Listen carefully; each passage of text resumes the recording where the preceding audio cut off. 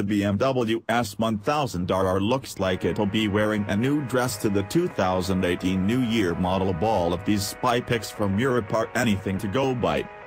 The S1000RR has been a standout performer for BMW by almost any measure since it debuted back in 2010.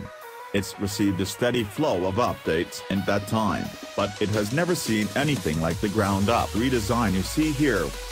The most obvious change for 2018 is the removal of what made the original S1000RR so unique. The headlights, a major talking point whenever it comes to the BMW Superbike, are now the same left and right and look rather like the Energica Ego electric Superbike. The fairing looks smaller and narrower, the seat unit is narrower and sharper at the rear and the exhaust is different, hinting at major changes within the motor. The swing arm is also different as is the main chassis, and there'll likely be a revision of the S1000RR electronics via the Bosch inertial measurement unit. Expect this new S1000RR to be released to the viewing public at EICMA this November.